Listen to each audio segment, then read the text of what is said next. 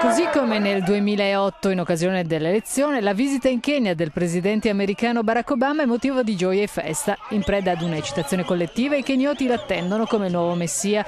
L'agenda del presidente resta più o meno segreta, ma nel villaggio dei suoi antenati Cogelo sanno già che il presidente non andrà.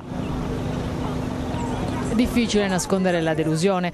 Obama qui è il figlio e il fratello di tutti e incarna la speranza. Sono molto deluso. Vogliamo che il nostro ragazzo venga a vederci, venga a visitare la nonna.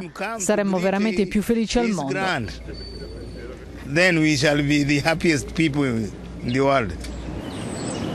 È qui che è stato sepolto il padre di Obama. Economista lasciò la famiglia quando l'attuale presidente americano aveva due anni. Obama ha appena un vago ricordo del padre che morì a 46 anni in un incidente stradale nel 1982.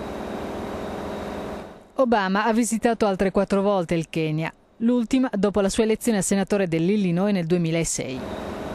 Alcuni suoi parenti vivono ancora qui, tra gli altri anche Sara Obama, 94 anni, la nonna di Barack.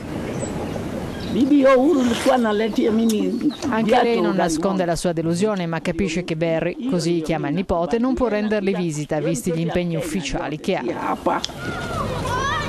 Nell'eccitazione generale dell'elezione del primo presidente americano di origine kenyota nel 2008 nel villaggio di Cogelo venne portata acqua corrente ed elettricità. Gli abitanti però si attendevano di più. Siamo dispiaciuti. Quando divenne presidente pensavamo che ne avremmo avuto qualche vantaggio. Non abbiamo visto niente. Aspettiamo comunque che si attuino programmi di scambi scolastici tra le nostre e le scuole americane. In molti a Cogelo sperano ancora in una visita del presidente. L'Africa resta la terra delle possibilità e l'imprevedibile è sempre all'ordine del giorno.